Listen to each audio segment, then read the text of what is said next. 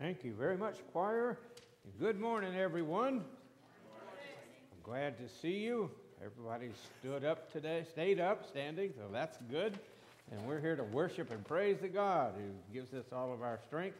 So please join me in the call to worship. Jesus Christ came to the fishermen when the prophet John was taken away. Come to us now, O Lord, as we fear losses of our own. Grant us courage to cast aside the nets that bind us, so we can follow you into true freedom and newness of life. Help us to be faithful disciples, that we might inspire others to follow in your ways. Now we'll join in singing hymn 348 Softly and tenderly, Jesus is calling.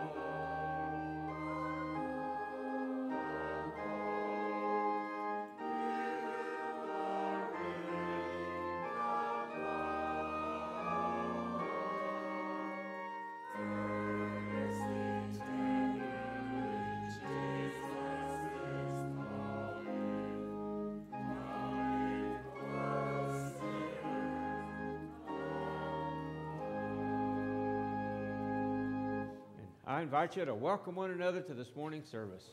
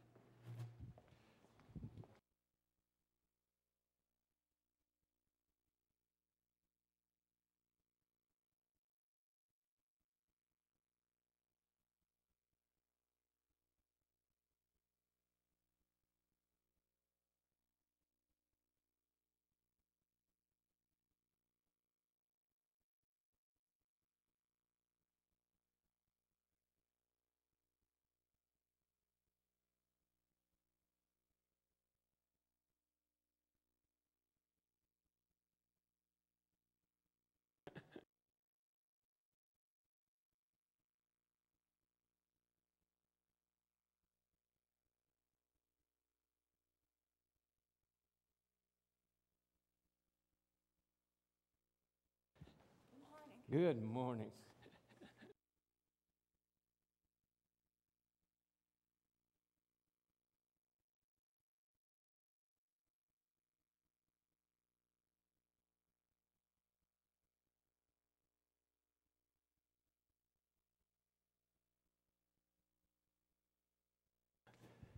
Okay, I think I made it. Well, I didn't quite make it to the choir, but I will get them in a minute.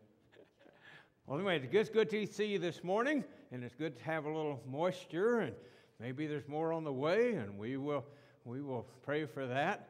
And uh, let's see, a few announcements. Uh, we do have a youth group today, and uh, let's see, Monday we'll have our Monday night Bible study. Tuesday we'll have our Tuesday morning Bible study. Uh, let's see, Thursday I do have to to take somebody to Salina. Saturday, we had the men's breakfast. Notice this Saturday, not last Saturday. So mark that on your calendar. Invite the men to come. Next Sunday, uh, let's see. I don't think we have anything special going on next Sunday. The following. Oh, yes, we do. yes, next Sunday, we do have the Right to, right to Life uh, dinner is going to be here. Ruth can use some help. Make sure getting all that gets ready. And it's next Sunday, not this Sunday, like somebody thought it was. and uh, so, do you need any specific help or anything with anything? Okay, okay. and then the uh, following Sunday, the bells are going to play. And then the 11th of February, I think it is, the cherubs are going to sing for us. And so we do have those things coming up. And then right after that, then will be Ash Wednesday. So I think those are the main things. We, if you haven't picked up a, a church directory yet, we do have those out there. I noticed at the early service this morning somebody picked one up, and I'd forgotten to tell them about them. So, okay. Does anybody have anything else going on? Yes. Oh. Yes.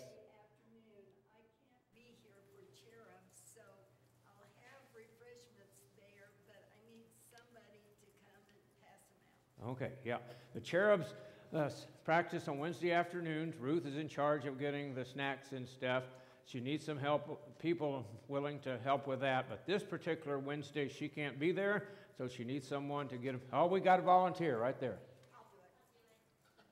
You got beat. okay. okay. Uh, any other announcements then? Hey, what are you standing there for? Say, Pastor, come forward because the children are waiting for you. Can you say that? Okay, children, tell the pastor to come forward because you're ready for him.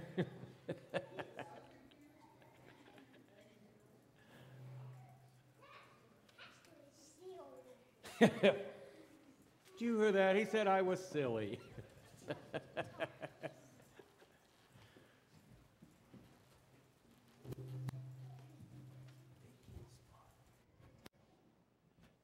well, good morning. Good morning. How's everybody doing today? Well, good. I was just wondering, what is your favorite thing to do? Uh, Sledding? sledding. Ooh, I think that is a lot of fun. And guess what? If it snows, we might get to do that, huh? Yeah. Anybody else? What's your favorite thing to do? Be lazy. Be lazy. Hey, my kind of man. Good job. We're going to have to change, though. Do you know that? If the whole world was lazy, we couldn't get anything done. Probably right. Yep, I'm probably right. so we're, we'll work on changing, won't we? Okay, what else? What's somebody else's favorite things to do? What? Eat, eat. That's a good thing to do. Anybody else have any favorite things? Play with your friends, read books, do schoolwork? I didn't think so. But let's say he named sledding. Let's say all of us like sledding and we're busy sledding. And all of a sudden, somebody comes up and they say, Stop what you're doing and go to church. Go to Sunday school. Stop sledding and go to Sunday school. Do you think you would do that? I don't know. and guess what? That's a good answer. I don't know. What did you say? No. No, you wouldn't. You know, a lot of times when it is our favorite thing to do, we wouldn't stop it, even if it was Jesus calling us. But today's scripture talks about Jesus going along the, the lake there, and he saw people fishing, and he said, Come and follow me. They were throwing their nets out, and they stopped and they went to him. And then they went by another boat, and two guys were in there repairing their nets with their dad and with the other people who work for their company. And Jesus said, Come and follow me. And you know what they did? They didn't say no. They dropped their nets and they went and followed Jesus. Because Jesus says, Now is the time that I need you to come to church. I need you to come to Sunday school. You can go sledding some other time. and so, but you know what? When we are doing something we really like, it's tough to do that. Now, if you were in the middle of doing your homework and somebody says, Come and do this, you would stop it, wouldn't you? Well, Jesus wants us to think that, guess what? There's nothing more important than doing things for Him. And so, if we're fishing or if we're sledding or if we're eating our favorite dessert, and Jesus says, I want you to go and take care of somebody who is really sad and who doesn't know me, then He wants us to go and do that. And so, that's what I want you to think about. Think about putting Jesus first. It's not easy because the world is always saying sledding's more fun, right? yeah. so, would you please join me in an echo prayer? Oh boy, somebody's leading it for me. Dear God, thank you for Jesus Christ, who calls us to be your servants. Sometimes it's, it's inconvenient because we're doing what we really like. But Jesus knows it's important for us to serve you. Help us love others. Help us forgive others. And help us be a good example. In Jesus' name I pray. Amen. Well, maybe fishing isn't your favorite thing, but if it was where you worked, you wouldn't want to wouldn't, wouldn't want to stop and and go help Jesus, but Jesus' followers did. So, I help you remember that. We have some fish bait for you this morning, some worms, but actually, I think they're gummy worms. So you can get you can get two packages of them, and then go back to your seat.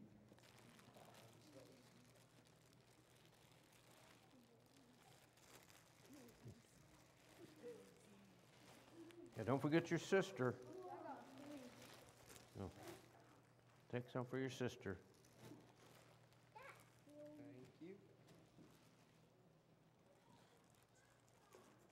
Dokie.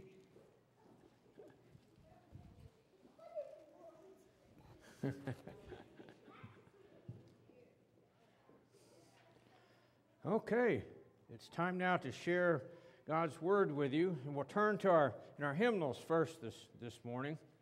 Uh, what did I do with all that? All that was it. Well, anyway, it's uh, Psalm uh, 62. No, what? 787. Okay. I had it marked in here one time, but okay. Psalm 62, 787. We're doing verses 5 through 12. For God alone my soul waits in silence.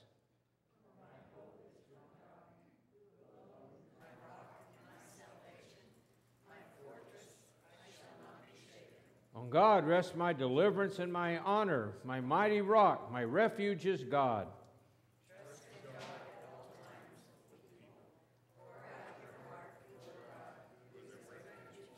Those of low estate are but a breath. Those of highest state are a delusion. In the balances they go up. They are together, lighter than a breath.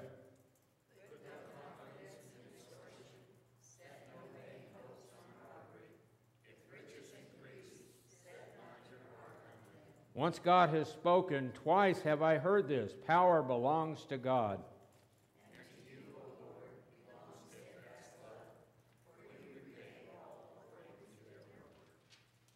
And now we turn to 1 Corinthians chapter 7, verses 29 through 31.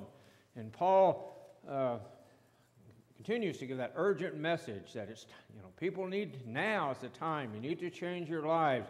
You need to be ready for, for Jesus and the things that you thought were important, like your relationship with your, your spouse and your children and different things like that.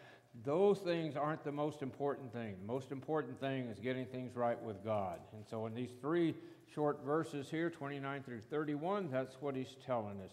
1 Corinthians chapter 7, 29 through 31. I mean, brothers and sisters, the appointed time has grown short. From now on, let even those who have wives be as though they have none, and those who mourn be as though they have not were not mourning, and those who rejoice as though they were not rejoicing, and those who buy as though they had no possessions, and those who deal with the world as though they had no dealings with it. For the present time of this world is passing away. And now we invite the ushers to come forward as we worship and praise God by giving Him our gifts.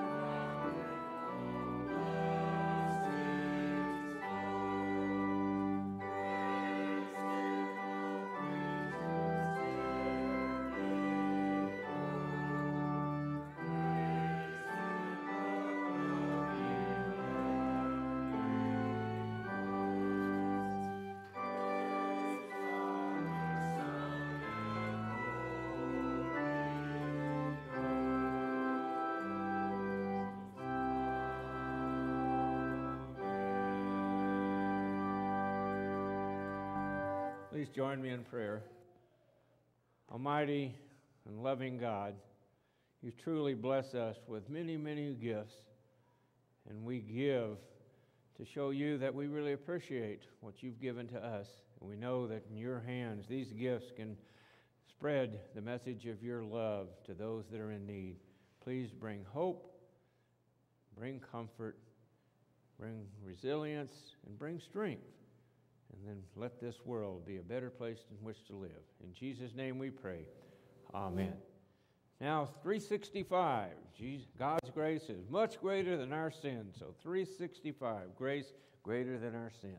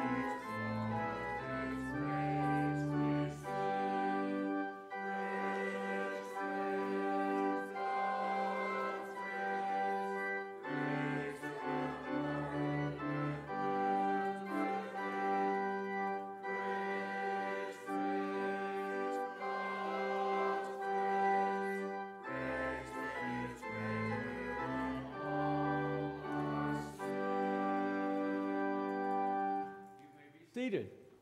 And it's time for us to share our joys and concerns. So, what joys do we bring with us today?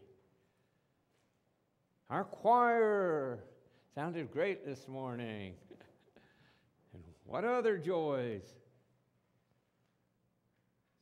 Early group said, hey, we had a little moisture and we're supposed to get more.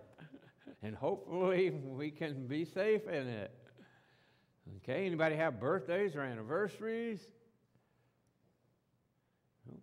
Well, we had a really, really good uh, pastors' conference in Kearney for three days. Uh, learned a lot about the importance of uh, giving and, and how to take care of the gifts that God has given us. And then I got to see my daughter Erin and uh, uh, Tim, my son-in-law, and my grandson Graham, and have a good time with them. And so that was really good.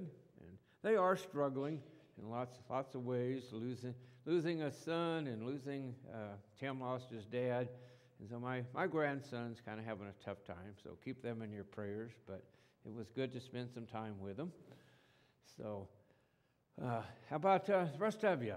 Any other? Um, uh, fifth and sixth grade boys basketball team to Idalia yesterday, and our boys did really well. Oh, So good. They beat Burlington, and they lost to Benkelman, but um, we should be proud of the, the boys we have in St. Francis. Okay, good, good. Not only were they good basketball players, but we have good kids here. Oh, good. I was proud of them off the court. Well, good.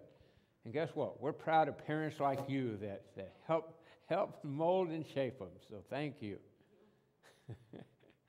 okay. Other joys. Well, I know there's lots of love in this place. I mean, just, you know, like next week, we're, we're hosting the, the Right to Life banquet, and, you know, it takes a lot, takes a lot of work to do that.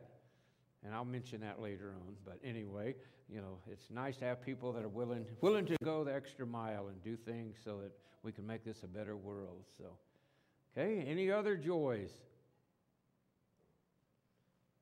Okay, let's see. I don't have my little slip of paper with me, but uh, Dr. Delano's stepdaughter does have a brain tumor, and so we have her in our prayers. Uh, Anita Miller called this morning, and her brother Dwayne passed away this morning. And so I don't know when the service is, but we wanted to keep him in our prayers. Uh, let's see. Uh, else? Oh, uh, uh, Cindy Wiley's uh, son, son's wife, Randy, uh, is, was 23 weeks along, and uh, I, I don't know exactly what the problem was with her pregnancy, but they, she is in the hospital, I think in Topeka, and I think she's going to have to stay there. They were hoping to get at least 24 weeks, uh, and then if after that, if they had to deliver the baby, they could, but they're hoping to get even more, and so she's going to be bed rest uh, for a while. So do keep keep uh, Randy in your prayers. And uh, let's see, uh, I don't know where he went, but uh, uh, Jean Ann uh, started her chemo, so we want to keep her in our prayers. Any news on that? Okay, well, but keep her in your prayers. So, okay, and somebody else started to say something. No. Yes. My brother Bill just got diagnosed with cancer, so I put him on. Okay. Yes. Okay. His Tom's brother Bill just got diagnosed with cancer, so we want to keep him in our prayers. And Pat's uh, mother's, it'll be your aunt, right, from Benkelman. She passed away, and so we want to keep Pat in our prayers as well. Okay. Any any other concerns? Yes. It's just worrying about how all over the country, so many people are having flu and a lot of people are dying with it. Yeah. Yeah. it'd be something to keep in our prayers. Yeah, we got we got the flu going around. Our government couldn't, our leaders of our government couldn't get together to, to, to make sure that all our bills were paid and all the needs were met. So we need to pray for our leaders.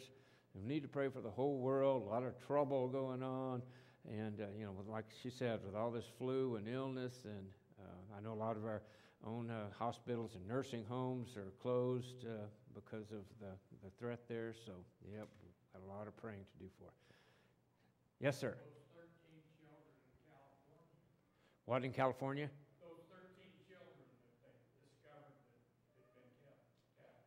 Oh, okay. Oh, yes, yeah, yeah. That that family in in California. That's a sad thing, and it just oh makes you wonder what's going on with the world, and that's why it is important that now is the time that we respond to God and shed his, spread His message in any way that we can, and so and continue keep praying. So that's what we're going to do now. We're going to take some time for silent prayer where we talk and listen to God. We'll follow it up with a pastoral prayer, and then we'll join together in the Lord's Prayer. So join me in prayer.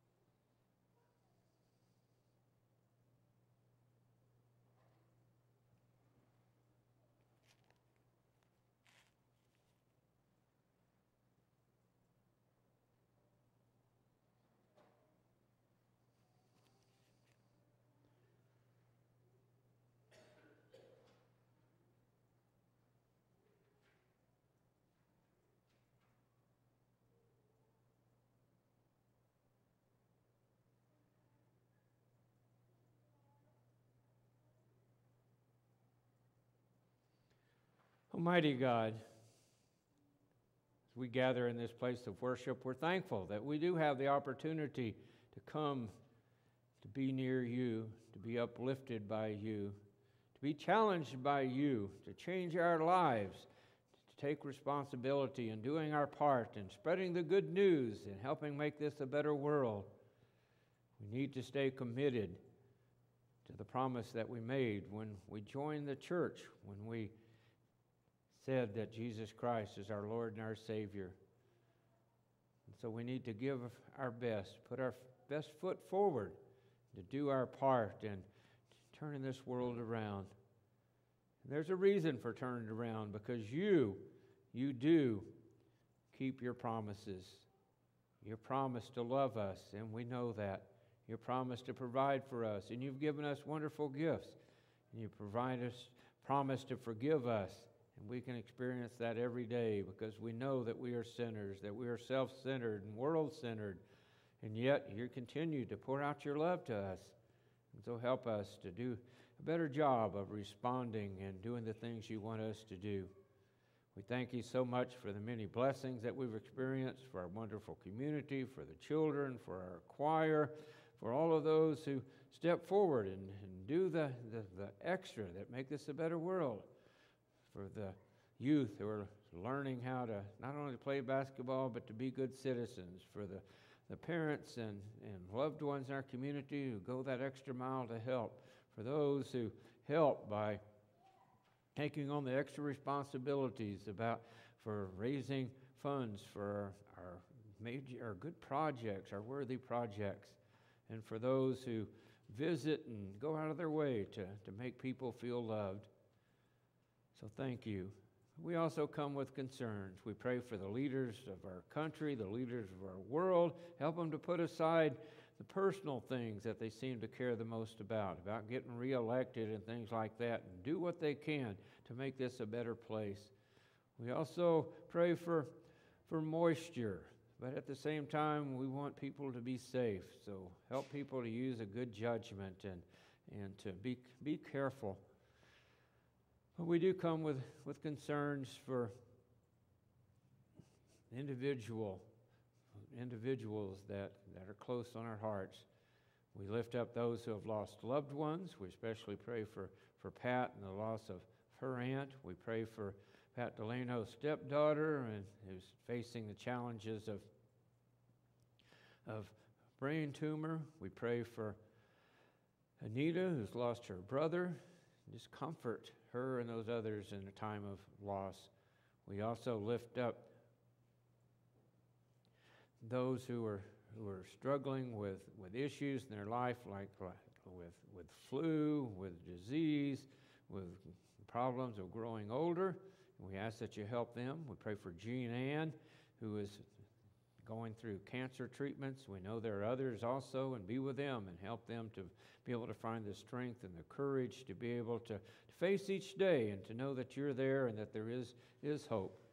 We lift up Randy and she's got uh, quite a long wait ahead of her before the, her child is born, and we just hope that, that you'll be there and things will go well for them as also. Now, just bless us, open our ears to your word, help us to accept the challenges, and to respond in the ways that you would want us to respond. We ask these things in the name of Jesus Christ, and together we unite our voices as we pray the prayer that Jesus taught us Our Father, who art in heaven, hallowed be thy name. Thy kingdom come, thy will be done, on earth as it is in heaven. Give us this day our daily bread, and forgive us our trespasses as we forgive those who trespass against us. And lead us not into temptation, but deliver us from evil. For thine is the kingdom, and the power, and the glory forever. Amen. I want to share with you two scriptures this morning.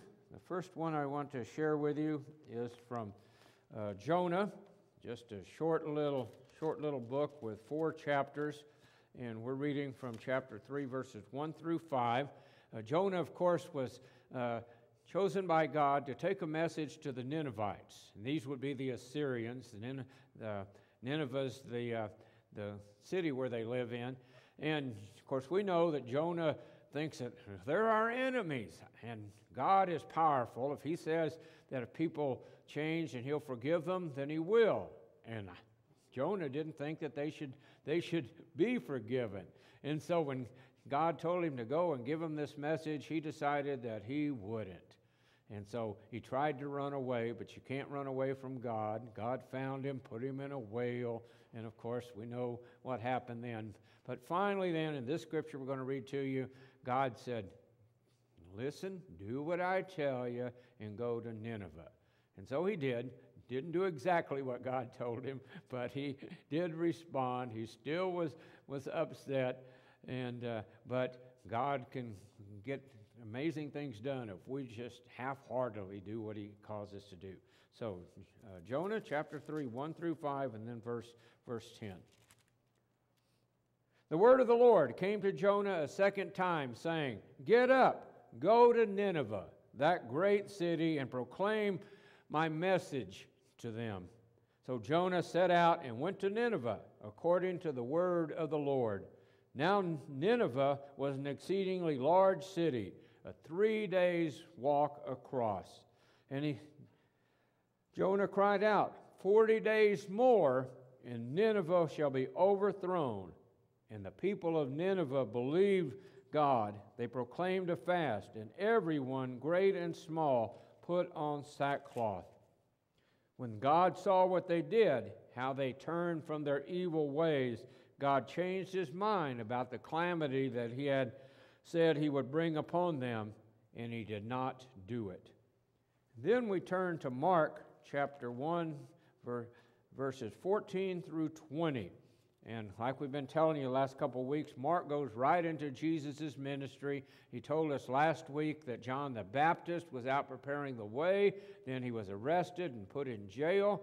And now we have Jesus responding to that by immediately going out and, and calling disciples.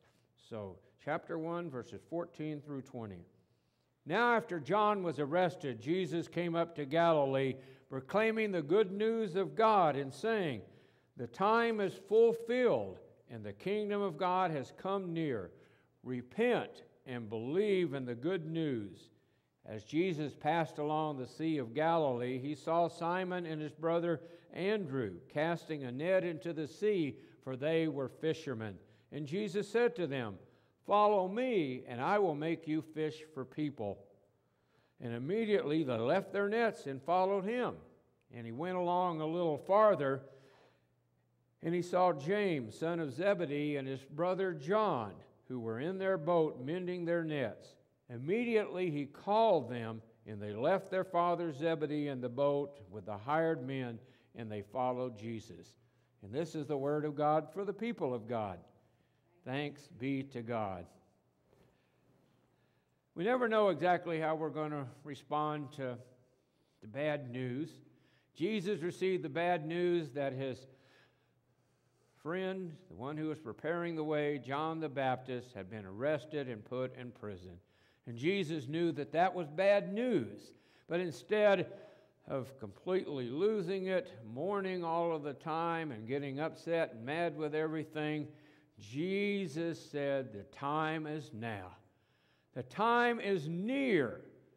And the word that is used there could also mean neither near or here, but whichever one, here and near. The time is now that God's message needs to be told to the people. For John the Baptist, the one who was preparing the people so that they could hear the message that God was providing through the Messiah, had been thrown into jail. No longer was there someone out there telling them, to repent from their sins, to ask for forgiveness, to turn their backs on the ways of the world, and to turn toward God. And so Jesus turned immediately to what he was sent here to do on earth, and that was to tell the people that the time is now.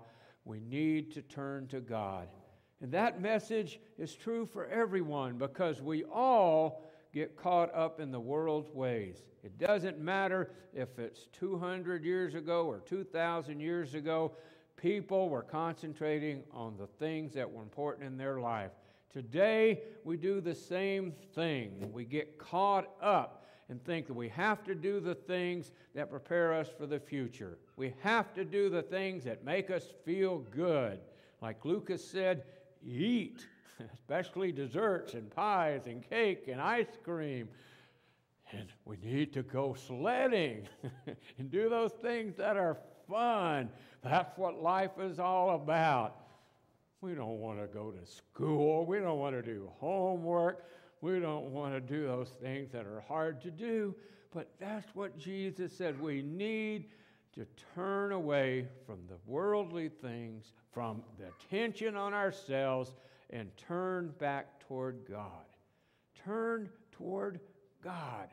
Give our lives over to Him, and then we can have life the way that it should be. We can have peace. We'll know that our problems are taken care of because God is there with us and He's there for us. We won't be so concerned about our own individual things that we turn our back on lots of others, just like our Congress is doing.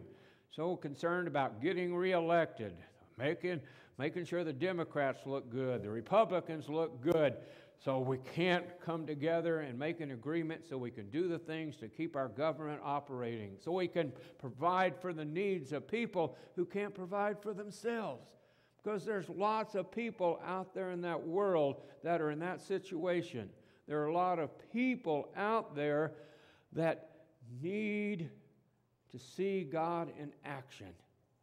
And that's what Jesus came to do to turn people's conception about God completely around.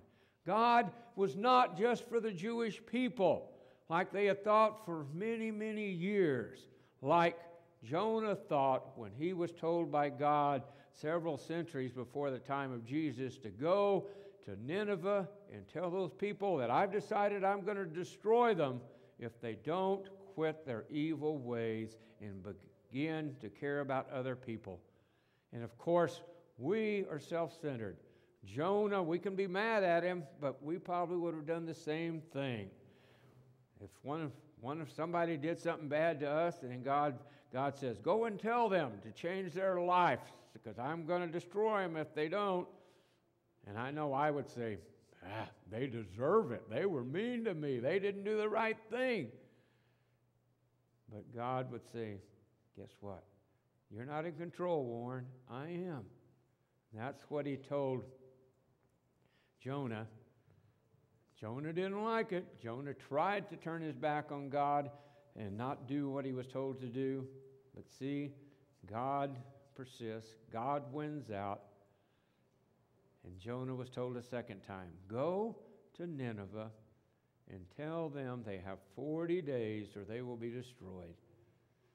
Jonah was supposed to go out through this whole city, only traveled in a day's journey, but he did give that message. And the people heard it. They recognized that it was something they better respond to, and they did it. That's what's important is that we give God the opportunity to reach out to people so they can turn away from their centeredness on themselves, centeredness on the world, centeredness on the things that make them feel good. And who's going to do that? It begins with Jesus Christ. Jesus says, Now is the time. God is near, God is here, and we have to turn away from the things that we think are important. We need to think about love. We need to think about forgiveness and caring. We need to think about going that extra mile and giving these little third graders a hope. We need to go that extra mile and take on those extra things like the world gives us. Ruth isn't sitting up there in her place. But Ruth, I worry about her because every time I need something done, who do I go and call? Ruth. Ruth.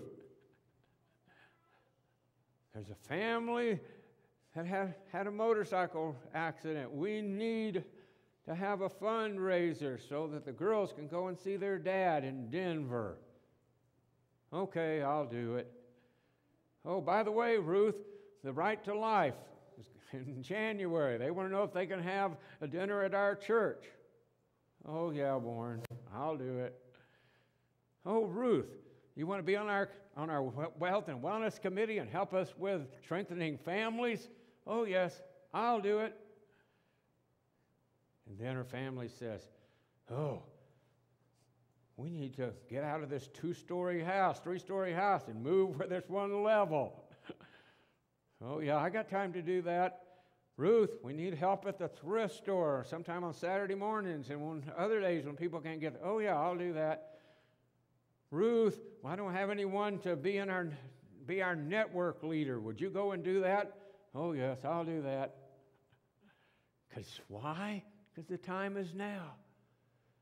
She knows that what, no matter what she thinks important, the time to reach out and to serve God is now. The needs are there.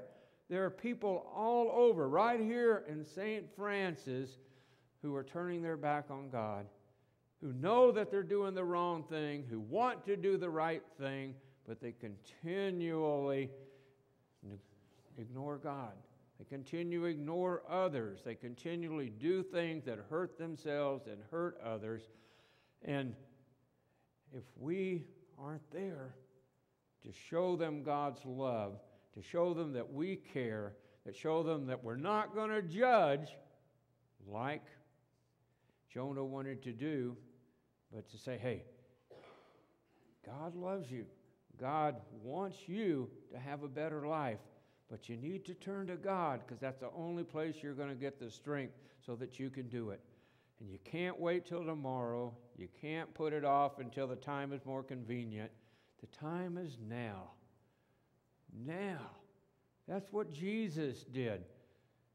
He went right away to Galilee and telling them, God is near, the time is now.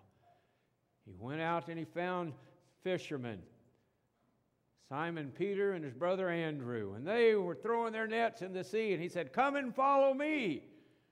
And I'm sure they didn't know who he was from Adam, but there was just something about him that told them that they had to drop their nets and they had to go and follow him because now is the time.